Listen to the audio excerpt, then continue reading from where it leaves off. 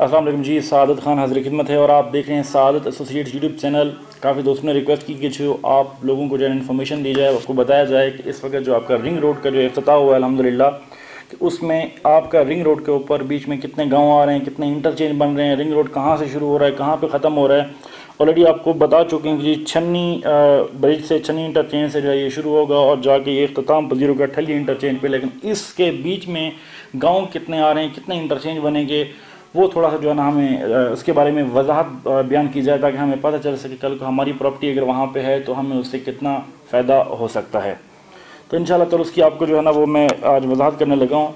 और सबसे पहले तो है आपको उसकी मुबारकबाद पेश करता हूँ कि अलहमदिल्ला आपका 19 मार्च 2022 को जो है वो रिंग रोड का प्रॉपर अफ्ताह हो चुका है। वज़ी पाकिस्तान और वज़ी पाकिस्तान की मौजूदगी में और भी वज़रा ने शिरकत की। तो ऑलरेडी आप लोग जानते हैं, पिछली वीडियोज़ के अंदर सुन चुके हैं, आसपास आप जो है ना वो सोशल मीडिया से भी सुन चुके होंगे कि आपका जो है वो ये बाईस अरब अस्सी करोड़ का प्रोजेक्ट था जो कि आपको एफ़ डब्ल्यू को चला गया। एफ़ डब्ल्यू ने तीन सौ मिलियन की कम जो है ना वो बोली लगाई थी। तो उसमें यह है कि आप जो मैं आपको सादा लफ्ज़ों में ये बताऊँगा कि आपका जो है वो रिंग रोड कहाँ से शुरू हो रहा है और कहाँ पे जाके अख्ताम पजीर हो रहा है।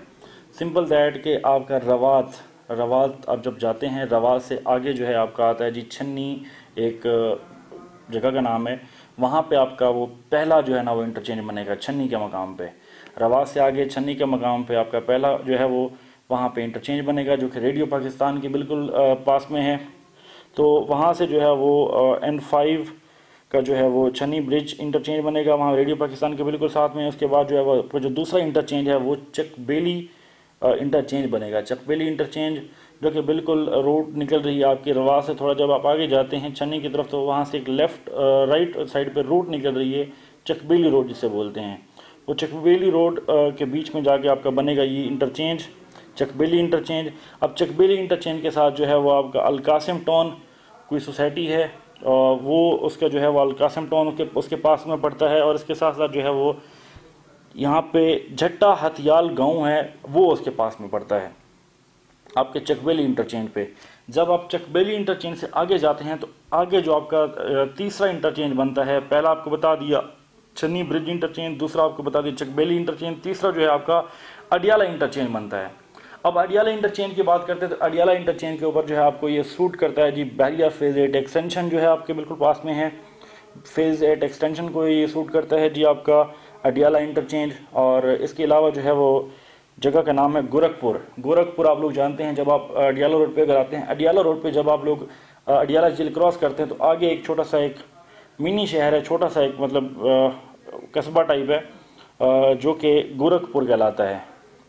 गोरखपुर से आगे जाते हैं जब आप लोग आपने जी थोड़ा सा आगे जाके राइट होना होता है जी चक्री इंटरचेंज की तरफ़। उस मकाम के ऊपर, जैसे आप राइट होते हैं, उसी मकाम के ऊपर जो है ना आपका ये बन रहा है जी अडियाला इंटरचेंज, जो कि बैरिया फेजेट एक्सटेंशन गोरखपुर और कोई ढाला और नकरानी गाँव हैं, इनको जो है ये साथ में वहाँ पे मिलाता है। ढाला गाँव है कोई और कोई निगरानी गाँव है यहाँ पर, वो उनके इसके मतलब जो आपका अडियाला जो है ये, अडियाला इंटरचेंज है ये इसके आसपास पड़ते हैं।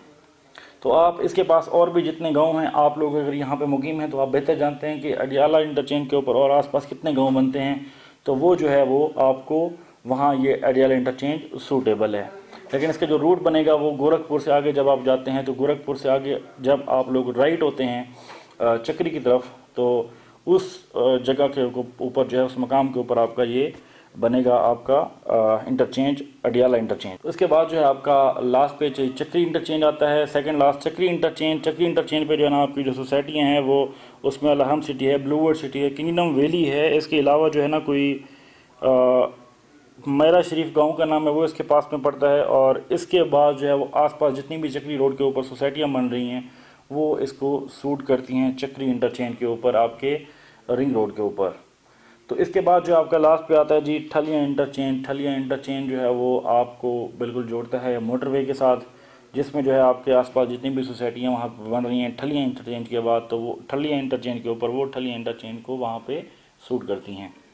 तो ये आपके, क्योंकि इतना ज़्यादा मतलब है नहीं कि 100 किलोमीटर 200 किलोमीटर टोटल आपका अठतीस या तीन किलोमीटर के या फासला, अठतीस या तीन किलोमीटर के फासले के ऊपर जो आपके इंटरचेंज आ रहे थे, वो आपको अगेन रिपीट कर दे तो N five Chhanni bridge interchange दूसरे नंबर पे आपका चकबेली इंटरचेंज तीसरे नंबर पे आपका अडियाला इंटरचेंज चौथे नंबर पे आपका जो है वो चक्री इंटरचेंज चक्री इंटरचेंज और पाँचवें नंबर पे ठलिया इंटरचेंज आपका बन रहा है यहाँ पे। तो ये आपके पाँच इंटरचेंज बनेगी। इन इंटरचेंज के ऊपर आसपास जितनी भी आबादी है वो इसको सूट करेगी। तो इससे आपकी प्रॉपर्टी को इंशाल्लाह ताला बहुत ज़्यादा फ़ायदा होगा और फ्यूचर में आप लोग इस चीज़ को कैश कर सकते हैं।